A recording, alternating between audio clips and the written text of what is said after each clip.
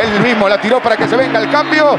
Señoras y señores, se despide del Monumental de los hinchas de River, uno de los arqueros más importantes de la historia de este club. Ovacionado, querido, amado Trapito Barbero, se ha metido con sus atajadas inolvidables, con su imagen de gran tipo, con su notable personalidad y emociona al Monumental el gran Trapito Barbero. Sin dudas, el recuerdo va a quedar para todos los hinchas de River. Que una noche como hoy se fue de River otro de los grandes arqueros que ha pasado por esta institución. El gran Trapito Barovero, el gran Marcelo Barovero.